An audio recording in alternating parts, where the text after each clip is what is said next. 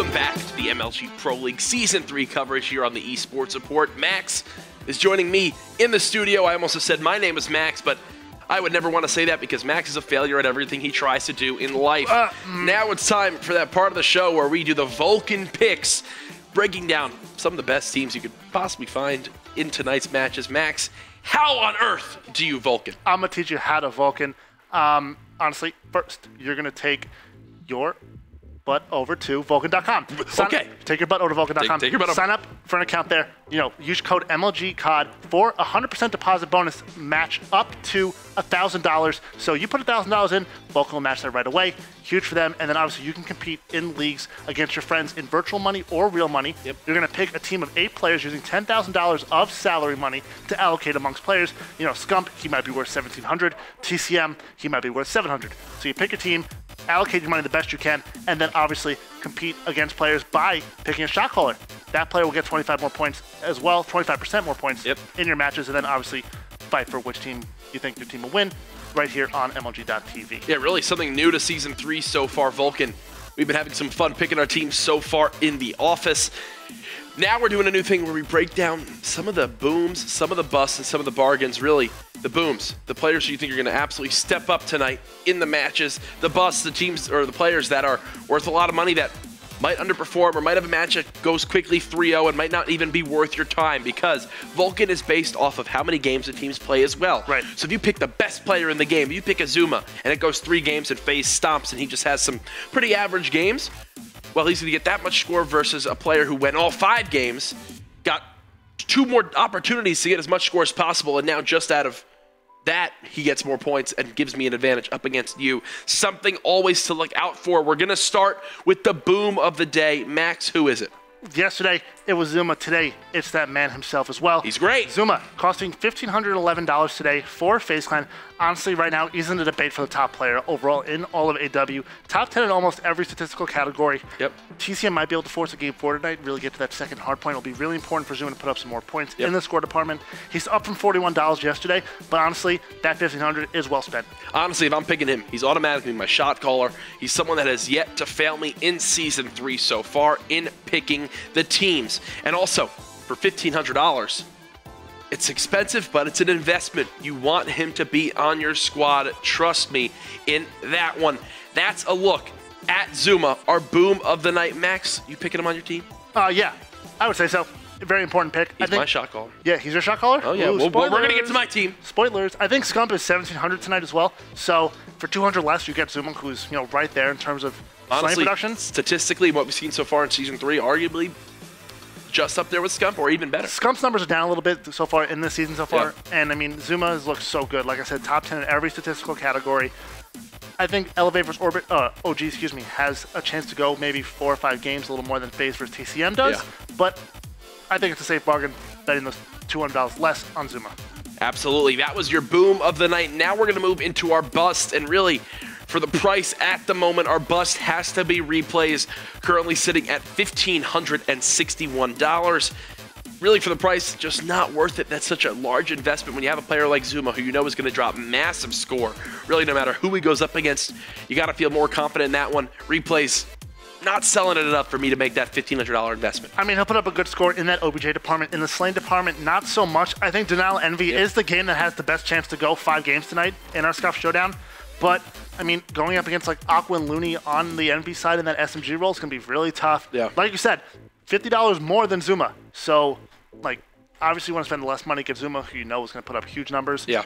Unfortunately, I mean, Replay is a very talented player. Just not worth the money today. That's going to be our bust of the J day, Jack. Going in, though, to our bargain. We have two bargains again. Who's our number one, Jack? Our first bargain has to come from the new pickup of Orbit TCM. Currently sitting at only $799. That's a player who is going up against Rise tonight, a series that can definitely go all five games. Also, on this new lineup, wants to prove himself. He's going to be giving it his all in every single match he plays. Expect to see him put up some big numbers tonight versus Rise. Yeah, this series should go a minimum of four games as well. Yeah. Was playing well for Rise. Just you know, didn't really get the time to really gel with that team. Yep. Kind of just traded. So for seven hundred ninety nine dollars, if you pick a big player like Scump, you can balance that out with TCM. But one more bargain of the day. He was our bargain of the day last. This yesterday one's as well. crazy. Saints. $939. Yesterday he was our bargain at 945, Jack. He went down six bucks. Also, just a great bargain. Oh, and they're going up against Optic Gaming, and then this match really, they could they could force a game four. 100 percent they could 100%, force a game yep. four, and if they do, that is completely worth it. You know, Saints is going to be one of the big players on his squad. He is every single night for Elevate, and at only 939 dollars, that's more than a steal. Definitely a must pick if you're building a team tonight. Yeah, I mean, he put up almost 109 points last night against Optic Nation. Elevated looked good so far against OG, like I said, in that 10K, clutching it up, making it to the finals over them. So, you know, like I said, potentially go four or five games. $900 well spent, in my opinion, on Saints. So that's a look at your boom, busts, and bargains. Once again, quickly going over them. Your boom of the night, Zuma. $1,511, more than worth it for the stats. Your bust replays, sorry, Chris, I love you, bud, but $1,561, you just can't justify spending that much money on him tonight, especially when he's going up against those aggressive subs of Envy and Aqua and Looney. Our booms, or our bargain, sorry, TCM, $799 now on Orbit. He's going to be giving it his all tonight. Does not want to let down the Orbit Zone fans. And then finally, Elevates Saints, The Red Rebellion. 939 bucks. You really can't beat that for one of the strongest players in the last, well, few games of, uh, of Call of Duty, Oh, 100%. One of the most consistent players in all of Call of Duty. He went, especially Ghosts. yeah, he put up the second amount, most amount of points on his team last night, Yep. and he went down $6. So 100%, Works for me. Pick him up again. I think it's a great pickup. But, I mean, tonight is to be you versus Ben. Easy our win. caster picks. Easy wins. Our first team will take a look at Ben's team, the Pandas in Pajamas. I love his team name. Let's take a look at his picks.